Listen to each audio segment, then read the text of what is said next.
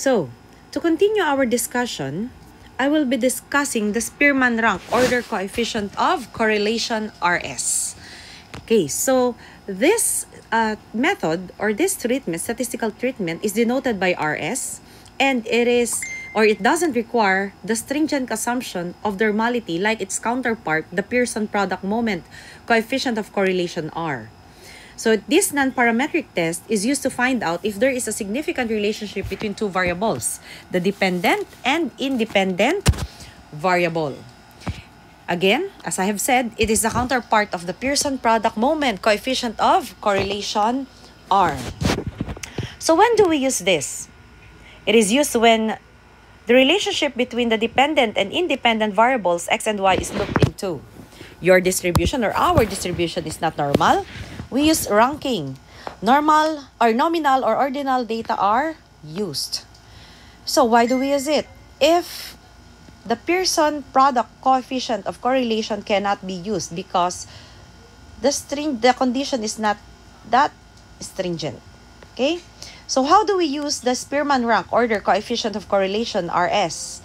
We first rank the data in the X, that is the independent variable, rank the data in Y, the dependent variable, then find the difference, the d, or the difference between rx and ry, find the d square, that is squaring the difference between rx and ry, get the summation of d squared, determine the sample size n, use the formula, and study the sample. Okay? So the formula is rs is equal to 1 minus 6 times the summation of d squared over n times n squared minus 1.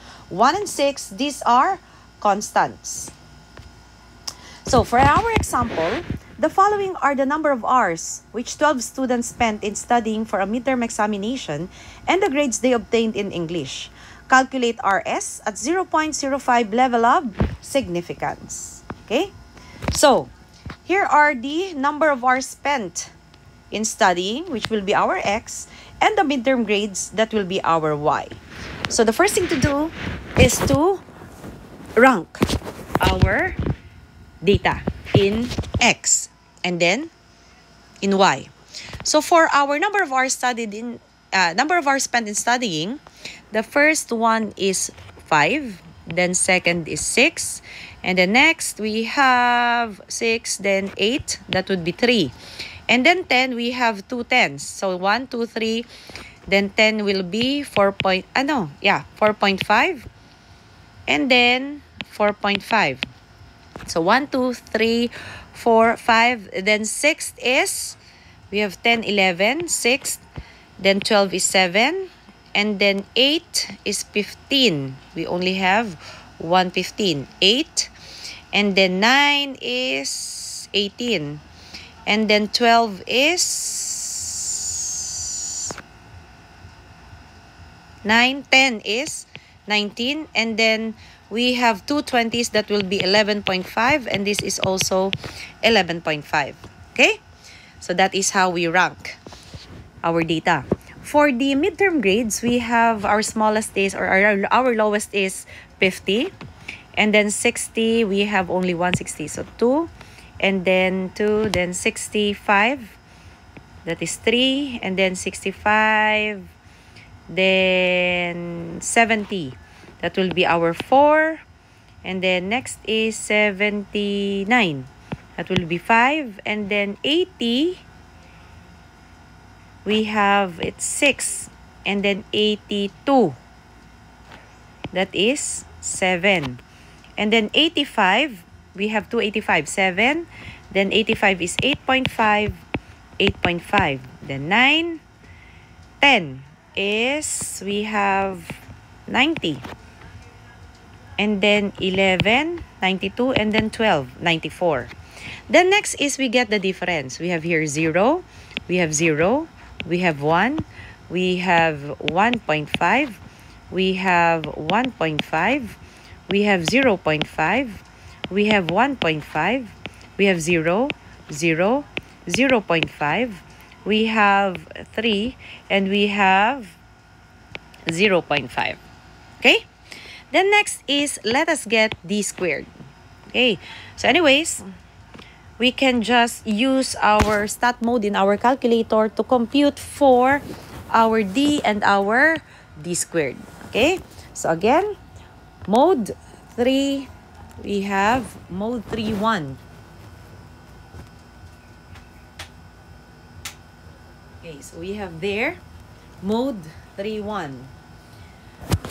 Okay, so we have uh, 0, then 0, then 1, then 1.5, then 1.5, then 0 0.5, and then 1.5, and then we have 0, 0, then uh, 0. Point, no, no, this is 0 0.5, and then 3, and then 0.5.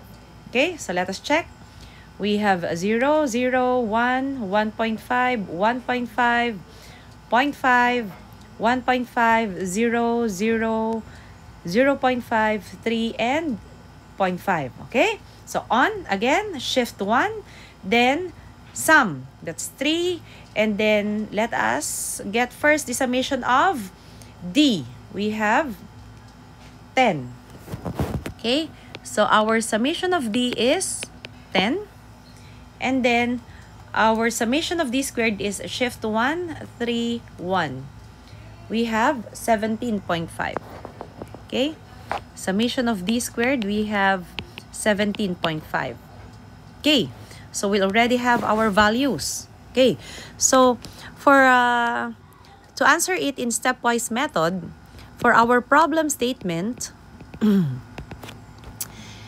is there a significant relationship between the number of hours spent in studying and the grade. Okay? So our grade is the midterm grade. Okay? This is for the midterm grade. So for our hypothesis is our null hypothesis. There is no significant relationship. So there is significant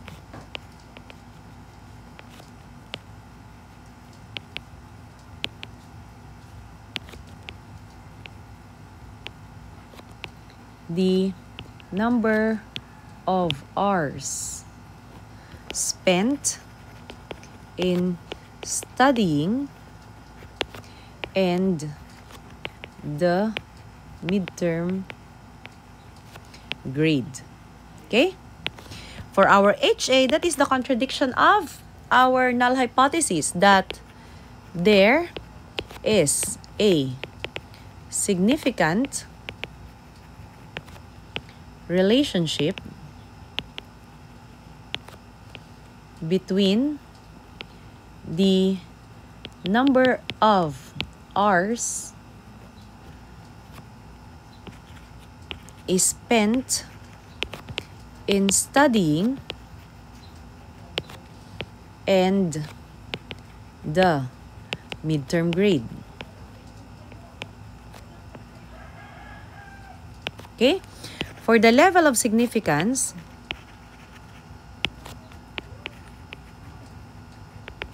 we have there alpha at 0.05. We are going to test this at alpha is equal to 0.05. For the degrees of freedom, we have 12 minus 2, that is 10. Okay? And then, for our R, for our RS, okay? Can you please look up at your table which uh, I have already attached or uploaded in your LMS? Okay, so you have there RS at 0.05 with 10 degrees of freedom. We have 0.648. 0.648. Okay? So for the statistical treatment, that is Spearman Spearman Rho or Spearman rank or RS. Okay? Then, for the computation, we have RS is equal to 1 minus 6 times the summation of d squared over, again, we have 6 times the summation of d squared over n times n squared minus 1. Okay, so for this one, we have 1 minus 6 times, what is our summation of d squared? We have 17.5. 17.5 divided by n is 12 times 12 squared minus 1. So we have here, we have 1 minus 6 times 17.5 over 12 times 12 squared minus 1. We have 0 0.9388. Okay? So, again, remember, what is our decision rule? If the computed value of RS is greater than the RS critical value, then reject HO. So here, since our conclusion, for our conclusion, since RS computed that is equal to 0.9388 is greater than our RS at 0.05 which is equal to 0.648 we reject HO. There is a significant relationship between the number of hours spent in studying and the midterm grades. Okay? Then, next is the Friedman FR test for randomized block design. So, it is a non-parametric test used for comparing the distributions of measurements for K treatments laid out in B blocks using the randomized block design. So, this is the formula that we're going to use. We have there FR is equal to 12 over BK times K plus 1 times the summation of treatment squared minus 3 times B times K plus 1.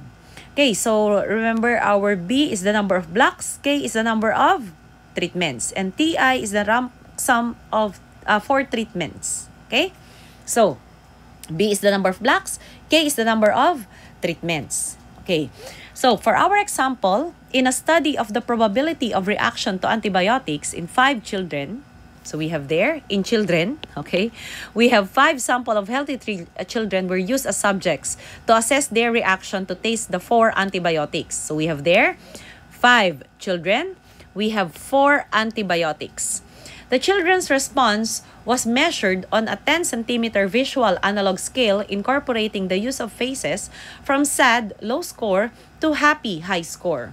So the minimum score was 0 and the maximum was 10. The following data were recorded. Okay? So you have there the child 1, 2, 3, 4, 5, the treatments 1, 2, 3, and 4 antibiotics. So we have there our ranking. Oh, no. The, the, we have there our uh, children's responses. Okay?